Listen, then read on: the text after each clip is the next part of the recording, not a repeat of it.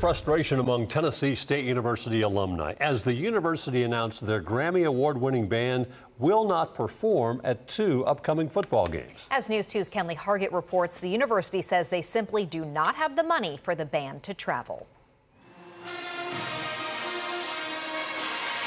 Finances continue to plague Tennessee State University as their Grammy award winning band, the Aristocrat of Bands, will not play at TSU's next two away games. The decision has hurt some alumni. Fellow alumni, you know, we were we were upset about it, you know, but we do understand the situation.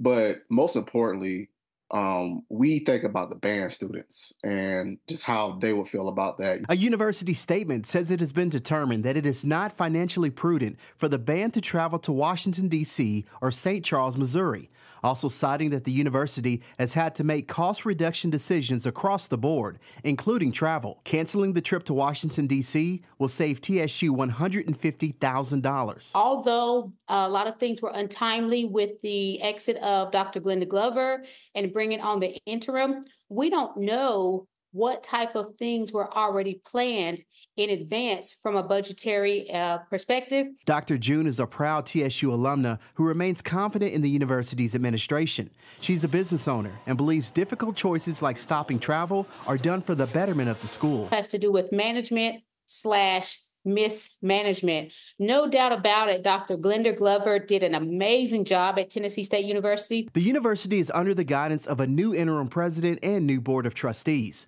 They are asking for alumni support as they face financial challenges head on. But many alumni say this wouldn't be an issue if TSU was paid the $2.1 billion owed by the state, a debt the U.S. Education Secretary alerted the state of in 2023. Once we get that 2.1 billion, um, I think that that will alleviate a lot of the financial stress of it.